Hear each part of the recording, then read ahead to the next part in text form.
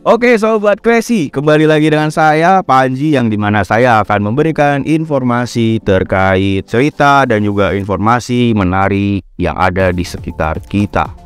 Oke, hari ini ada cerita menarik terkait tragedi yang pernah terjadi di dunia keuangan yang merugikan orang banyak.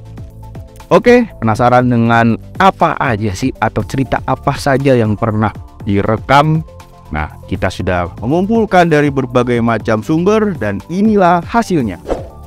Ini adalah cerita terkait tragedi keuangan yang merugikan orang banyak.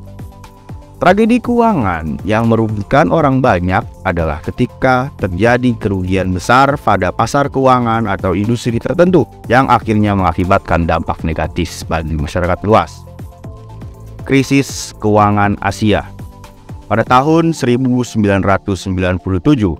krisis keuangan terjadi di beberapa negara Asia, termasuk ada Thailand, Indonesia, dan Korea Selatan.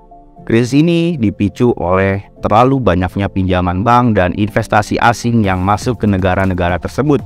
Krisis ini mengakibatkan kepanikan di pasar keuangan dan devaluasi mata uang lokal yang berdampak negatif pada pertumbuhan ekonomi, lapangan kerja, dan juga kesejahteraan sosial. Lalu ada skandal Enron.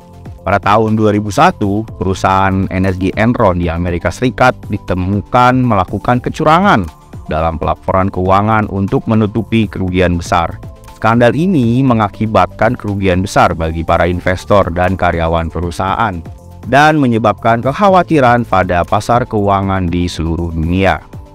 Lalu ada krisis subprime mortgage.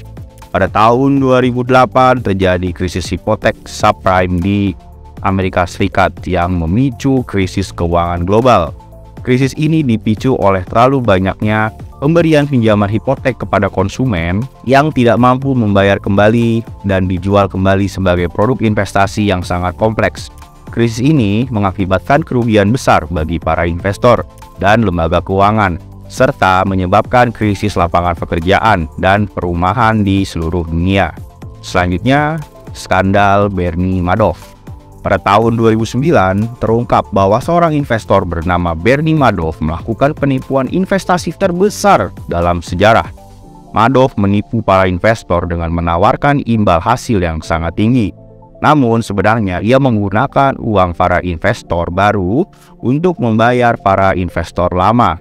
Skandal ini mengakibatkan kerugian besar bagi para investor, termasuk keluarga kaya dan dana pensiun yang terkenal di Amerika. Nah, itu adalah semua tragedi keuangan yang menunjukkan betapa pentingnya regulasi dan pengawasan yang memadai dalam menjaga kestabilan pasar keuangan dan melindungi kepentingan masyarakat luas.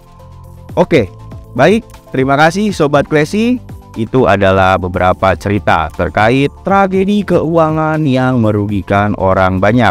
Nah, untuk teman-teman yang sudah menonton video ini, saya ucapkan terima kasih. Sampai jumpa di video selanjutnya. Kembali juga dengan saya yang akan membahas cerita terkait hal-hal menarik yang ada di sekitar kita. Baik, sampai jumpa. Jangan lupa tekan tombol like dan subscribe. Bye-bye.